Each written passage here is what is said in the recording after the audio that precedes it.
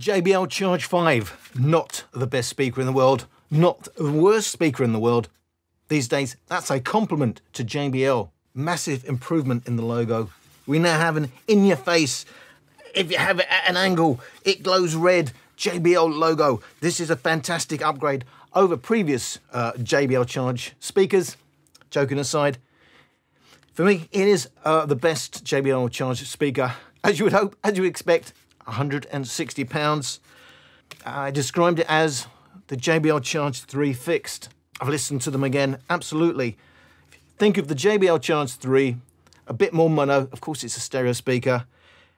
Add a bit more bottom end, a little bit uh, meat on the bones.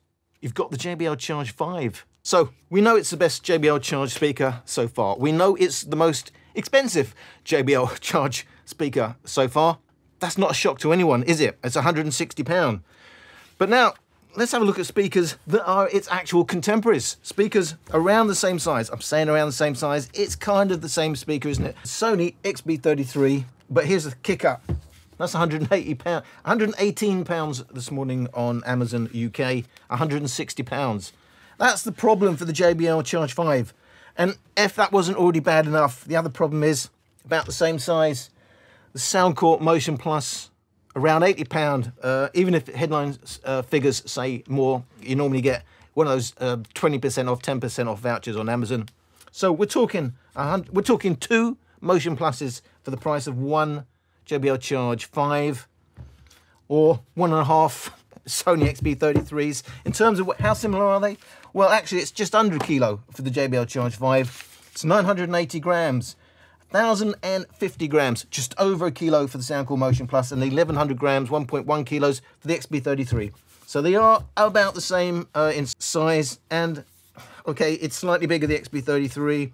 It's kind of wider, but they are the contemporaries. They are the speakers, um, amongst others, but the, the most most requests are for JBL Charge 5 against these two speakers. So let's have a little teaser. Look at the frequency response measurements. Remember, these are an indicator. They're not going to be absolutely accurate. I don't do this in an anechoic chamber, mainly because I don't have tens of thousand pounds at this stage uh, spare to spend on that sort of thing.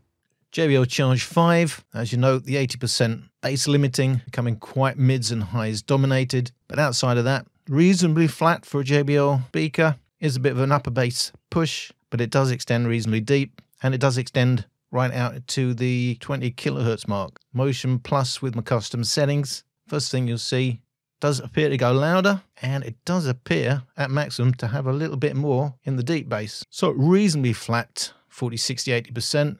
There is a big roll off from 10 kilohertz and up. It doesn't go all the way into the harmonics, but it certainly doesn't go as deep as the JBL Charge 5 at the lower levels. XB33 with my custom settings, flattish, but there are big peaks, there are big dips. But once you're over 80% with the JBL Charge 5, the bass roll off is from a higher point. So, I mean, at maximum volume, you can see XB33 appears to hold on to more of the bass. In terms of the upper mid bass, although very deep bass may be still JBL Charge 5, but real tracks could be quite different. Does have a bigger roll off from about 15 kilohertz. The JBL Charge 5 does have a rise from 4 kilohertz upwards, peaking around 9 kilohertz, where the XB33 is a bit flat, actually has some dips. So maybe a bit brighter on the Charge 5. Remember, custom, custom. You'll only get one setting. Why do you do custom EQ on one speaker and not on the other? I explained it multiple times. Because I only use uh, custom EQ when it can be embedded into the speaker itself. It's not device specific and where it makes a significant difference to the speaker. And I only use one setting, all volumes.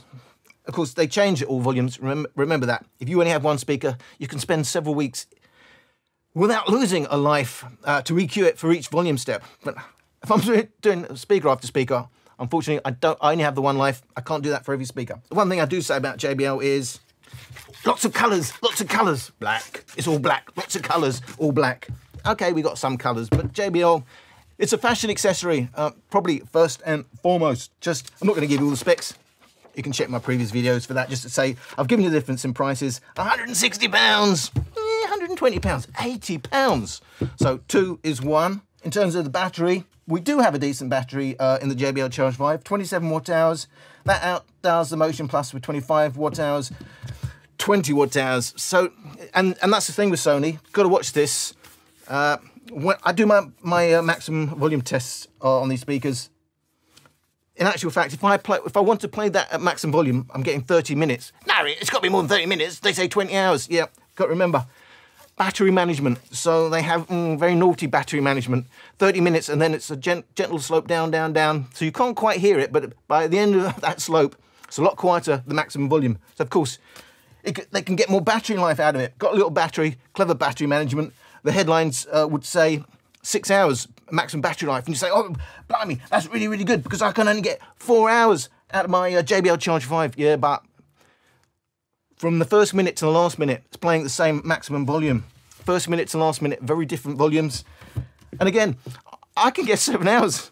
I don't know if I've got a magic uh, Soundcore Motion Plus. I can get seven hours. You're telling me almost everybody seems to get around three hours. I can only tell you, I've done the test, I've retested it, I've got two Motion Pluses.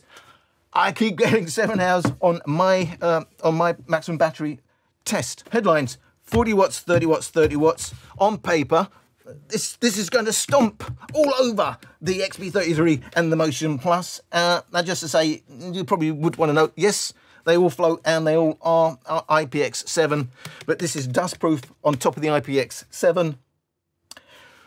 It's mono. We've got tweeter, woofer, but we have two tweeters, two woofers. Isn't that really amazing? And that was when we were getting all mono. We didn't even have, all right, it's mono, but now we've got a, a woofer and a tweeter. When they were just had one, one driver, the racetrack driver, boom, boom, boom, goes so fast. We were still getting four drivers plus two uh, passive radiators, two, of course, two passive radiators and two woofers, no tweeters on the Sony XB33. So let's get on, let's get straight into it. Gonna go up all the volume steps because it's really important to see how these speakers do low, medium and maximum volume because the results can be very different. If you only play one volume, not getting a real indication of your real world use you know, in multiple scenarios. So around 40%, but that means JBL Charge 5, because they all have different volume steps, matched volumes means 40% Charge 5, 50% on the XB33, 35%, just 35% on the Motion Plus, is 50% on the Motion, on the Sony XB33. that I cannot escape. Dazed and confused, so kind of faith. Baby, I'm getting stronger. Than armor. Losing this fight,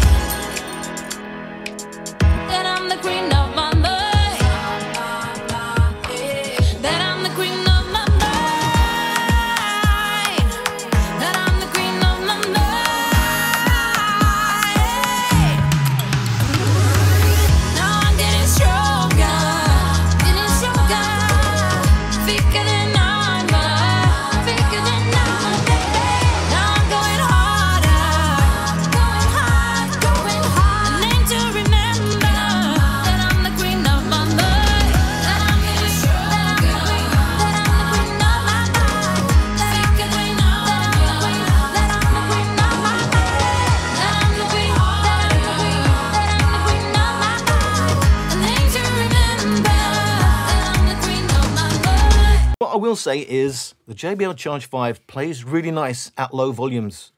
It's well balanced for low volumes. It's the opposite of the JBL Extremely Priced 3 in that you, you get all the dynamics. Uh, it's, it seems balanced for dynamics at low volume. Getting a nice dollop of bass, but also getting very, very clear sound. So 40%, my first impressions are plays very nicely at low volumes.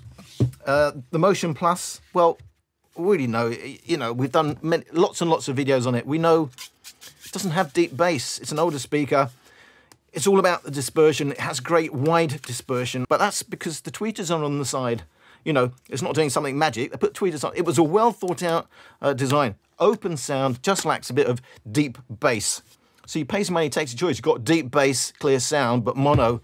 You've got a nice open, airy sound with lots of details, but you don't have the deep bass. That's a draw for me. You know, the Sony XB33, I know, oh, is getting rave, rave reviews on some channels. I mean, I've gone over it and gone over it. I, I just don't see it that way. Over, look, this is a reasonable speaker, and the quality for this speaker is in the bass. It's not the most defined bass ever, but um, almost like the Denon 250, it has a character of its own, a warm character to it. So it's kind of in your face and, and it's obvious, and that makes it really, really nice because it's very much part of the music. But having said that, I can't get away from the feeling that this almost has a veil over it. While I do get the vocals, it's clear. There's a lot missing. Uh, there's there's a lot in the mids. There's a lot of detail missing. Straight ABs with the Motion Plus, with my custom EQ, by the way. Um, I'm hearing so much more going on than I am with the XB33. 60%, but again, different volume steps. So that's 55% motion plus 70% volume. Already 70% already on the XB33, 60% on the Charge 5. Yeah, you were right this time. You were right this time. Take a look around. Look what you did last night. What you did last night. Never heard a sound. Yeah, I know that you told me one day you'd show that you were right this time. You were right this time.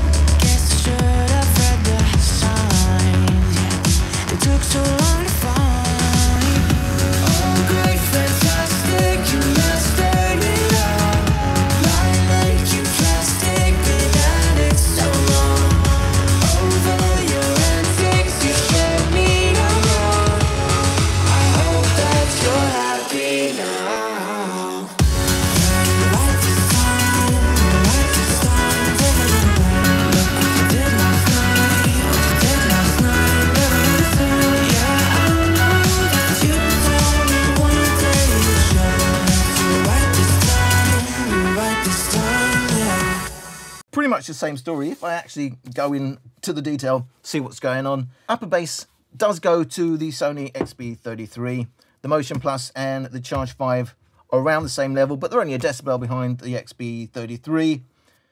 When it comes to mid bass, mid bass, I'm saying 65 to 100 hertz. Well, that's a tie between the Motion Plus, surprisingly, uh, has as much mid bass at matched volumes as the Charge 5, and falling away now uh, is the XB33 by a couple of decibels. But in deep bass, you know, for the connoisseur, we like a nice deep bass. I'm saying that, of course, a lot of you actually prefer your upper bass, but hey ho, um, for me, I do like a nice dollop of deep bass. And remember, takes a lot more of the amp. So it's a brave uh, manufacturer, brand, whatever you want to call it, that actually bothers putting a decent amount of power into the deep bass because it means they're going to lose volume at the other end, at, and a lot of people just want volume. So I do say that's the ice cream for me, the uh, deep bass, and by a long by a long way. The JBL Charge 5 is 5 decibels up on the XB33. It's 7 decibels up on the Motion Plus. So you've got to hand it to, to JBL here. It's against its contemporaries.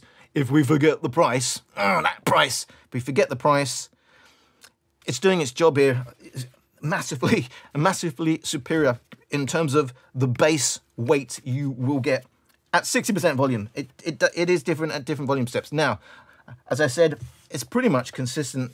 Open airy sound lacks the bass weight and uh, deep bass extension, but you also get that stereo, the stereo shimmer. You get a soundstage which you will never get out of a mono speaker, um, but you will get more bass. And for me, as I said, it's okay if it's your only speaker. You, you'll love the bass. You don't "Mm, I like that.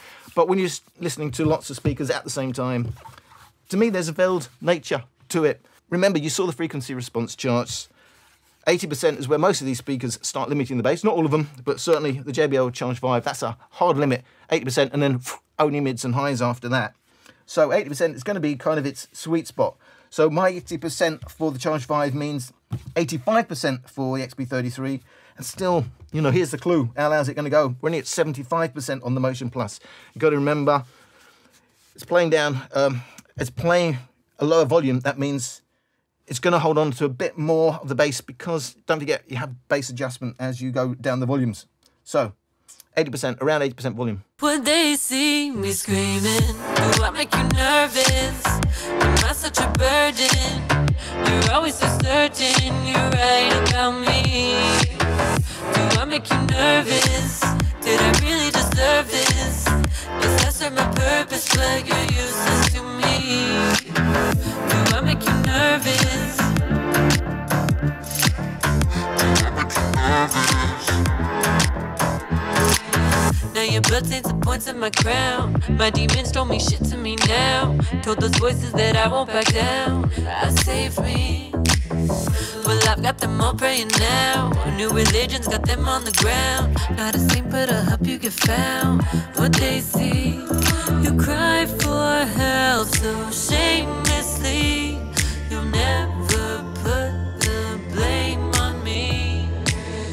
When they see me screaming, do I make you nervous? Am I such a burden? You're always so certain you're right about me. Do I make you nervous? Did I really deserve this? Yes, that served my purpose, but you're useless to me. Do I make you nervous? Yeah,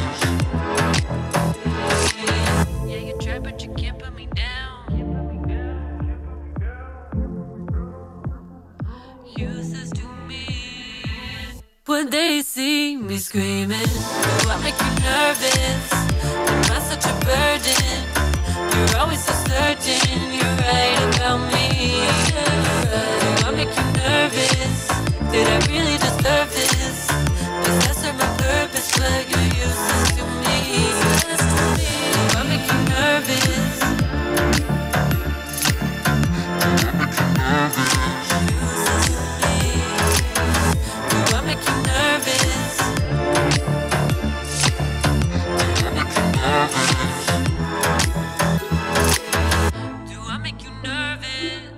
So 80% volume for the JBL Charge 5 means you're around 75% on the Motion Plus, around 85% on the Sony XB33. There is a difference between all three speakers and their volume steps. And at these higher volumes, where for the JBL Charge 5, it's at its sweet spot, there's no more bass to be had after 80%. The Motion Plus actually has a bit more upper bass. There's not much in it in the mid bass. And the big difference is 65 hertz down, where it does fall away on the Motion Plus. Then the Sony can't match the deep bass of the Charge 5. It can't match it in mid, but it does have much more upper bass, whereas the JBL Charge 5 holding on to deeper bass.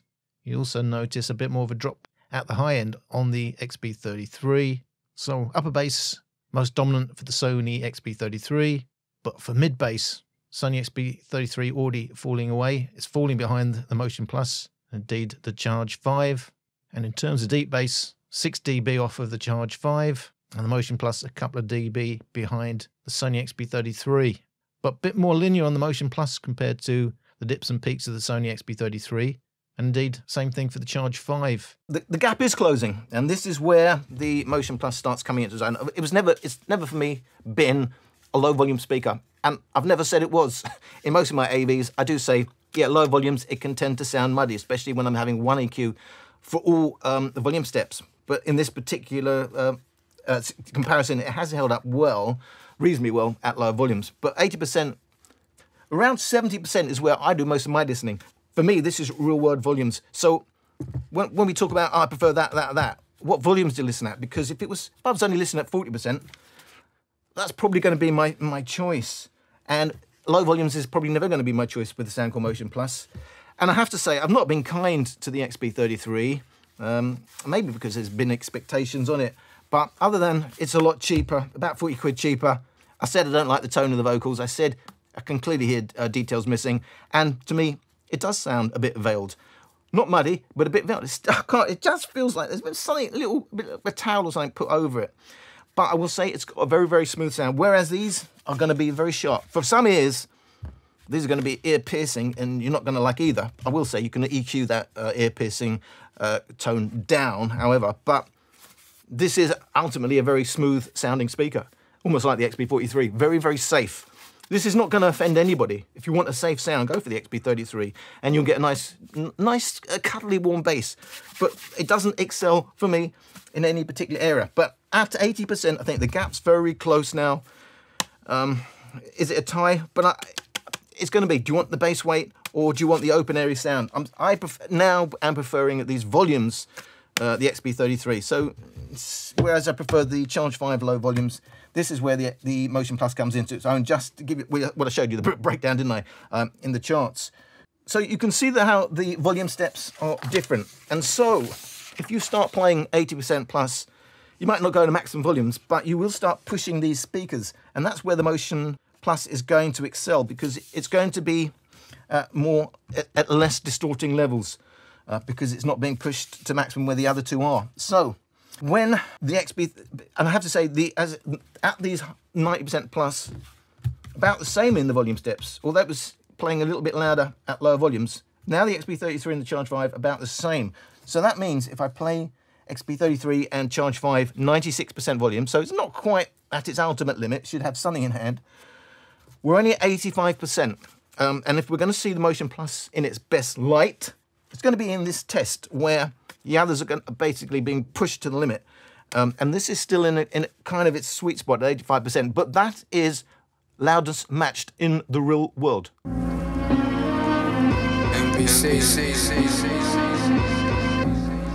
Look, man, we gonna do this one Hate it. time, and that's it. I got them saying that they think I need therapy. I just need a bad bitch to come and cherish me. Take a peek inside my life and I'ma give you clarity. Like the diamonds on the ring when I say marry me. That's directed towards the love of my life, which hopefully I don't meet at some club some night where every single guy just seems to be her type. I'm way too smart to know this ain't right. Fairy tales going off in my head at night. Very well that I know that this ain't life. A man can dream as long as he can fight. If you put in the work to reach new heights. I'm here to tell you that you gotta stay positive instead of thinking when you on the stage that you bombing it. Once you do that, then it shows you confident. In my own lane, I've forever been dominant. My mental health really on a decline. I've been sitting here daily just losing my mind. Toss and turn in my bed until the sun comes shine. Will I ever really learn what it takes to be fine? I ask myself what I learned from mistakes that I made in the past if I wanna be great. But most times I come to find that my findings are fake. My reality distorted from the drugs that I take. But wait.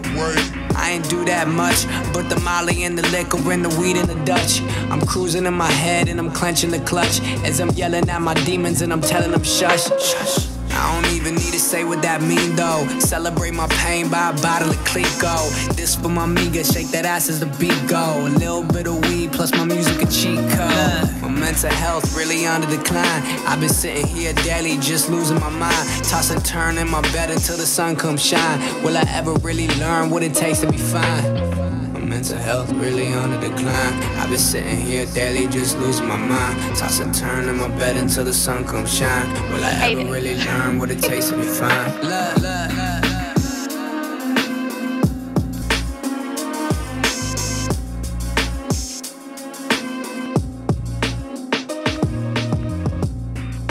So now the Motion Plus actually matches the mid upper bass of the other two speakers and actually it has a fraction more upper bass than the JBL Charge 5.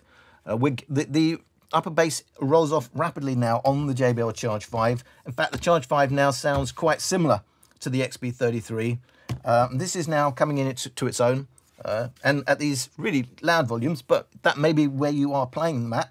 For me, XB33 is a winner. It doesn't have the deep bass, but uh, it does it does outkick the XB33. Minus 38 to minus 39 for the XB33 means it has more bass now at all levels, mid, upper, or deep bass than the XB33. But the JBL Charge 5 is for going some upper bass to keep its deep bass.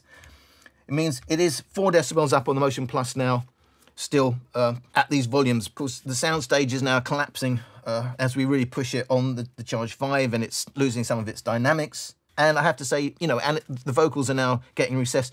This is not where the, the JBL Charge 5 wants you to play it. It does not want to be played 95% maximum volume. Clearly, it's now losing out. We're only at 85% on the Motion Plus. So these are the volumes.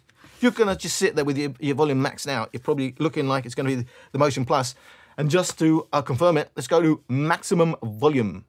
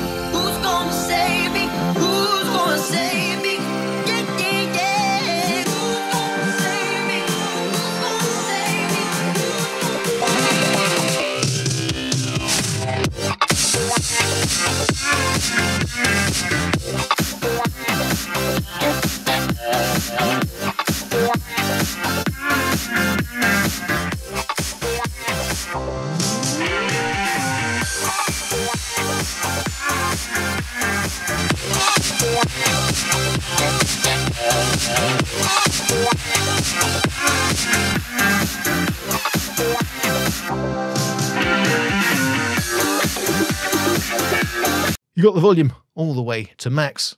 How loud does it go? Well, the Motion Plus in custom mode goes the loudest. Goes the loudest by a couple of decibels over the XB33, which in turn is a couple of decibels up on the JBL Charge 5. So, seen it before with like with the Charge 4. Most of the guns of the Charge 5 come in at lower volumes. Maximum volume steps, near maximum volume.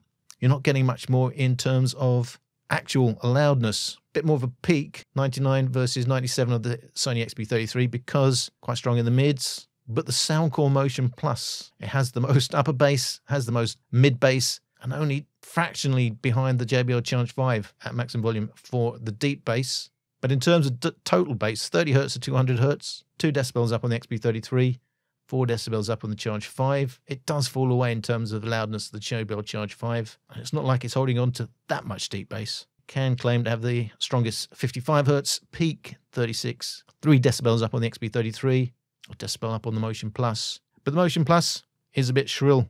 It's very strong mids, highs, and it does have a big peak because of that 101 decibels. So it falls away rapidly. This plays nice at low volume, low mid volume. But as you start pushing past its sweet spot, 80%, falls away rapidly.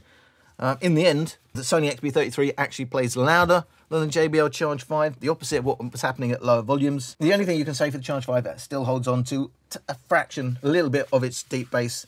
So it still has the most deep bass, but we've got the volume now. Now, if you are a true audiophile, the minute you hear a bit of distortion, you're going to say, that's it, I'm out of here. It's not a deal breaker for me. If you're playing at these volumes, it's because you, you need those volumes. Of course, what happens when you go up the volume steps sounds more dynamic to your ear. Of course, we become uh, more sensitive to uh, frequencies as we go up the volume scale. That's why it sounds more dynamic. So it, if your ears are being rewarded by the volume levels that only of these speakers the Motion Plus can give you, you'll forgive some uh, distortion, especially if you're outdoors, because you need the volume. So ultimately, there is more headroom, or you can come down a couple of notches and cue that, or you can go into the EQ, mess about with that, cue it that way. However, I've left my one EQ, which I say that's what I do for my speakers when I have EQ. Is there distortion? Yes, there is. Uh, is it killing the speaker? No, it's not killing the whole sound on the speaker. Of course, if, you, if I did that 24 hours, 365 days a week, it will kill my drivers, but I'm not doing that. And it's not a deal breaker for me. And of course, why do people like uh, uh, tube amps? They like the distortion. They might not realize it's distortion, but we know that's what they're liking on tube amps. Now, what? How does that break down? Motion Plus even holds on to more bass, but of course it's pushing the mids. It, look, it's, it is a bit shrill. you know, it is a bit um, edgy. You can cure that in EQ, but the volume's there. You don't have to go to those volumes, but you've got the ability. Whereas you don't have the ability on these two speakers. And you've got to remember, if it doesn't go loud enough for you, I can buy another Motion Plus. It's the same price as the JBL Charge 5, £80, £160. And that has always been the problem for JBL. Are they charging you for the extra paint for the red, yellow, white camouflage, all the other colours they do where Soundcore basically only getting black. It's been amazing. I think they had a red and a blue for the Soundcore Motion Plus. Must have sold so well they had money for a bit extra paint. And yes, you do get nice looking speakers, but as I said, a bit veiled. A lot of people love it. If it was, if that was my only speaker, I wouldn't have a problem. I wouldn't even know what I was missing. But I do have other speakers, and when I personally listen, I am always thinking that sounds a bit veiled. I don't like the tone of the vocals, but I do like what it does in the bass, although it's not completely, although it's not totally accurate. It's not very tight, but it's there. It, it's it's it's very pleasing, I would say. So, the takeaway is what we already knew. That's a lot of money for a JBL Charge 5. It's a decent enough speaker. At 80 quid, it's 160 pound. If you want to pay for the logo, I did say in my other video, if you want people to know you're paying for a JBL uh, and you've got more money than sense, I don't know. No, you've got a bit of spare cash. You bought into the, the JBL brand, and fair enough. But you are paying for the logo, um, and you've got to remember that. Even Sony, 120 quid for kind of similar. But however, I would always, I would prefer the JBL Charge 5 over the XB33. That's me personally. It is a really nice listen, low to medium volumes. If I was only listening low to medium volumes, I'd probably say uh, that was worth the money because the dynamics are there at low volumes. I really like the way it does that. Whereas that's open and airy, but the dynamics are not really there. But for me, because of the volumes I'm playing at, and that's 70%, between 70 90% on these speakers is where I tend to be. Um, I guess the Motion Plus, but I've got the Motion Boom now, haven't I? So that's why I don't listen anymore. But if, if it's a straight choice, I think I would still go for the stereo over the mono uh, JBL Charge 5. I've got the headroom ultimately for more volume, and I, and I can get some fun details out of it. But it's going to be a matter of taste. There's no right or wrong here. I can't say it's a Sony XB23 or the XB32, where mm, for me clearly crap. But you're going to enjoy any one of these. I, if either of these was my only speaker, I'd have no problem. I would still be able to enjoy my my music. But it's never going to go loud enough. Even when I have been listening to these XB33, I'm at 100%, not quite getting there, and I can get there for my ears. Way I listen, I can get there with the Motion Plus, and again, I'm struggling with the Charge 5. So, low to medium volumes, that's a big plus if you can afford 160 quid. Sony XB3, it's a, it's a, it's the XB43. It's a safe sound. It's never going to offend you. But for me, not exciting enough, uh, not detailed enough. Um, I'd rather have. I can see the XB43 is not a lot of money extra over the XB33. To me, not, unless you need this size uh, every day, get the XB43, and still stonking value um, for 80 quid. So I'm going to declare the XB33 this. I'm going to declare the Soundcore Motion Plus winner in this particular test. That's uh, just a fun signature. It doesn't. I'm not saying it's the better speaker. I'm saying uh, take all listening scenarios into account. And highly recommended for the JBL Charge 5. It's an exciting speaker. It's an in-your-face speaker, but it doesn't like going over 80%. Um, and that's where all its qualities start diminishing to the point where it actually sounds recessed. I hope you got something out. Oh, by the way, yeah, I am going to do a motion boom. I don't know why, but because it's a, a lot bigger. But you're asking me, you're asking me to compare it to a lot of speakers, to be honest. But uh, um, the most obvious one now that you're asking for against the Motion Boom, I guess because it's my pound for pound world champion, it's it's the only speaker you need really, uh, as far as I'm concerned. But yeah, um, if you don't mind the size and it's about the price, a bigger 80 quid speaker against a small 160 quid speaker. Going to do that. I'm going to probably throw in the Sony XB43 uh, with that as well. So I hope you got something out of this video. Thank you for watching.